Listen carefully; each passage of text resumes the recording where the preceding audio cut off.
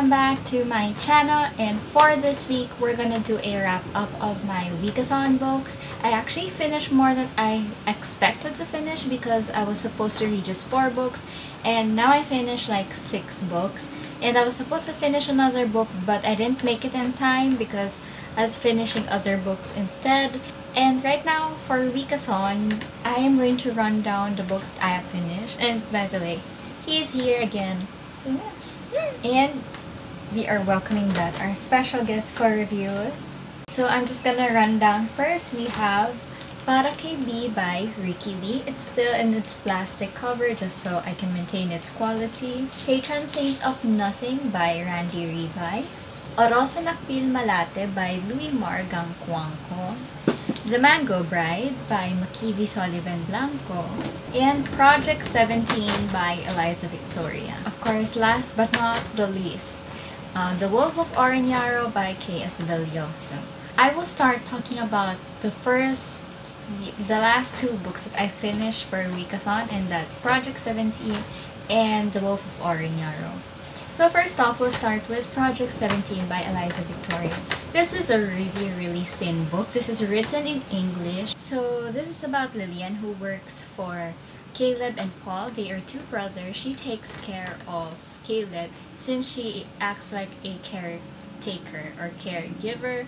And then she's actually wondering if what they say about Caleb is true because they say that he has um, schizophrenic disorder but based on the amount of medications that Paul, his brother, is making Lillian give Caleb, she is in doubt about Caleb's condition, especially with the amount of drugs that he is being given.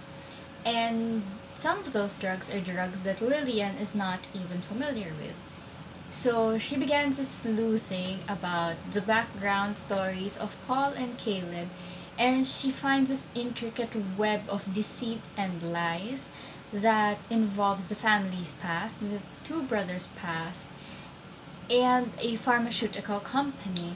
So this is more of a sci-fi novel because when you start reading it, you're actually introduced to a future world where sentries, robot sentries, are now the guards of places and the police, and sentries and other robots are being created to replace human labor because they are more efficient. So apparently, this family has some connection with the company handling these sentries and other pharmaceutical drugs. And Lillian starts to unravel more secrets and mysteries as we go on. I'm not going to spoil anything because I don't like giving spoilers. But overall, I did like the book. It had that thrill, especially in the middle to the end. What? Especially in the middle to the end. But what I found lacking in it was it seemed so short and it didn't have much time to create a world on its own. I still feel that there is room for more details of the world around and that wasn't really established much. The world wasn't really established that much. You had to figure it out along the way. But even when you end the book, it still didn't feel enough. But I I know I have an idea of the world already as I went through with the book and I like the book, I like the story. I think that's the only thing that was lacking for me. And maybe this book is somehow an introduction to other books that Eliza Victoria is going to release soon in relation to this world. But I did like it and I hope that there are more actually. I hope that this is just like a book one and I hope this does turn into a series and so on. I actually give this book like 4 out of 5. I just feel like there was something that the book could have said more.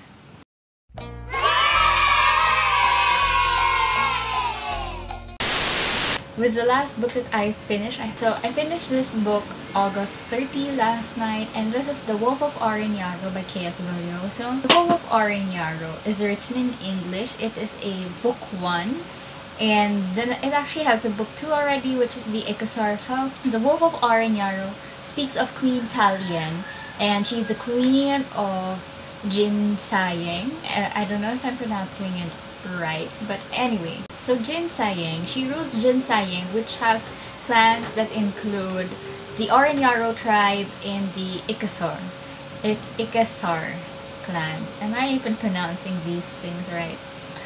But Queen Talyien hails from the Oren-Yaro clan and her husband Raya comes from the Ikessar clan and they were married by an arranged marriage in order to create peace among their land and after one incident um, Raya actually walks away and Queen Talyien is left as the queen and she rules alone because Raya is somewhere in hiding and after all these years, five years later, she has ruled alone. There is still there's still unrest in her empire, and she receives a letter from Raya that talks about him wanting to meet up with her after all these years, and so she leaves her kingdom for a while just for a secret meeting. She leaves her son, and they do meet. They try to talk things out for how they can work out a plan in order to finally reunite and create peace among Jin Sayeng.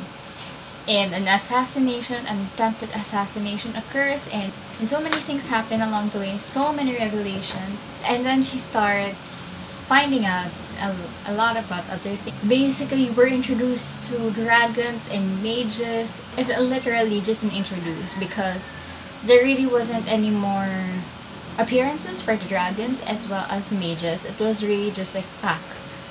We're just putting that here. First, we're introducing that to you. I love the characters in this book. I love Khine. I love Talyien. And there are some that I'm just like, hmm. I really have nothing to say about Agos. I feel like he's just like that clingy guy who hasn't gotten over you type of feeling over Talyien but Talyien still tries to see him as a friend. I do, I do love Khine. Like, you know, I was shipping for Khine. I was shipping for Khine and Talyien while I was reading this book. Like, they kind of belong together. And when I actually reached the ending, a part of me felt like probably Khine will have a special or an important place or part in Talyien's story in the next few books. I feel like somehow he's going to end up as part of Talyien's council. I feel like he should be. Like that's what I think. I mean, I love Khine. I love his story. I love his background story. I love Talyien's fierceness that, you know, amidst all the odds, she's still fighting as a queen, as against all the males that actually feel like she doesn't deserve to be queen because females shouldn't be queens. That's how people actually see us and I feel like this book has a lot to say about a woman being able to rule besides what society actually thinks of us. You know, I know a lot of people hate Raya and a part of me kind of did hate him, but a part of me is also trying to understand where he's coming from. Like the reason why I love this book so much is because it was it wrote Talyien, Ryo, Khine as real human beings, three-dimensional characters where you know their thoughts, their feelings, and you know their background stories even though you don't. It just feels like you can earn so much from them. They feel so real. They feel like actual people that are not just written and they're not just the stereotypical type of characters that we see. And I think that's why I love the character of of Khine and Raya, aside from Talyien. I love those three characters, to be honest. I know a lot of people hate Raya. But I feel like there's just so much more to be said, especially with with Khine and Raya. Like, we aren't even focusing on them. But I feel like, I feel like if you unearth things, you would actually see a lot of reasons why they have become the people that they are. Especially, like, in the, like, for Raya, for example. I do believe that Raya was really um, overwhelmed by his jealousy, his insecurity, his feelings. Of course, we see Talyien talking about him as someone who's very intellectual. But you actually see a contrast with how Raya acts that he's not really thinking right. He's actually overthinking things because of his emotion. So I think that's a huge contrast that the author was able to portray. And I feel like those insecurities have actually been coming from somewhere and I feel like that will be dealt with in the second book in the Ikessar Falcon and I feel like um, there's a lot more action in the second book especially with the ending that we're left with. I, I feel like Raya was written to be like the damsel in distress. He's the damsel in distress, not Italian, and this time the female saves the man. Somehow like that. But overall, I really love this book. I really, really, really enjoyed it.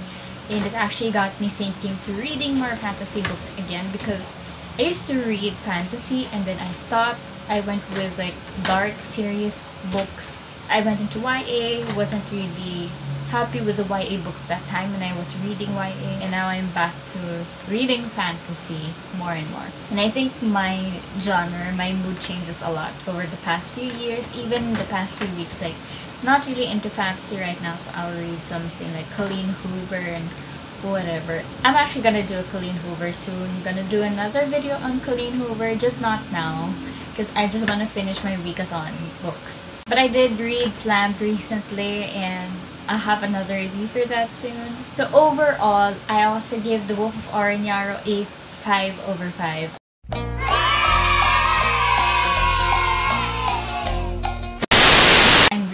Happy with the books I have read. Like, I'll just run this down. So The Wolf of Oren-Yaro, if you're into fantasy, please do read that. If you're into sci-fi, you should read Project 17. It's really short though but I guarantee you'll enjoy it. Maybe what you won't enjoy lang is how short it is.